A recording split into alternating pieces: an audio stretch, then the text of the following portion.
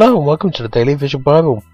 I'm Robbie Yates. You know, I have to admit, it's good to see that every so often more people are subscribing to this channel. I thank those of you who have, and hope you encourage others who are interested in the Bible to do so as well. You provide a real encouragement, a reason for me to keep producing the show.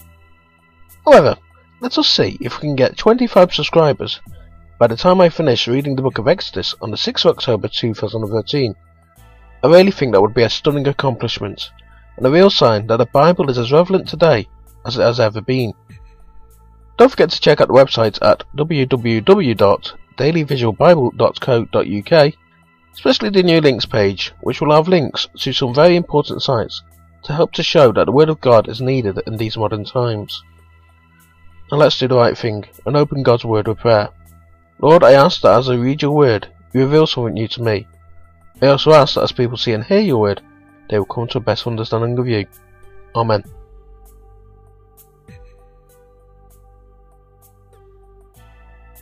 Exodus chapter 3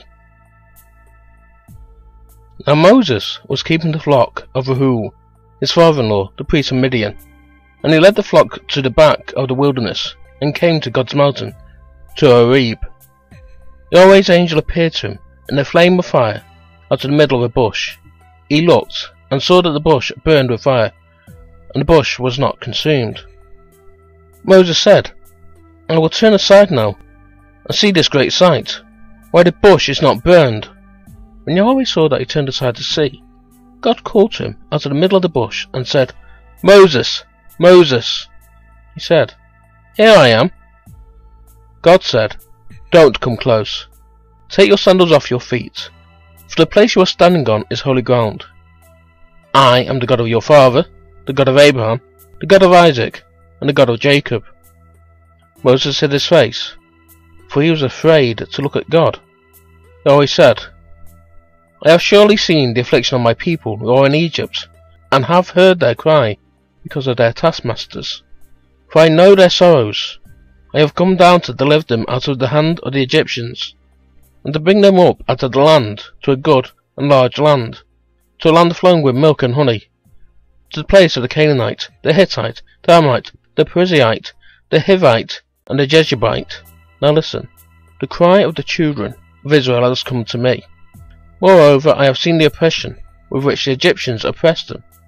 Come now, therefore, and I will send you to Pharaoh, that you may bring my people, the children of Israel, out of Egypt. Moses said to God, Who am I, that I should go to Pharaoh, and that I should bring the children of Israel out of Egypt? God answered, Certainly, I will be with you.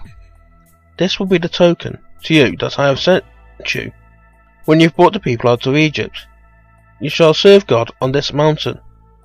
Moses said to God, Listen, when I come to the children of Israel and tell them, The God of your fathers has sent me to you, and they ask me, What is his name?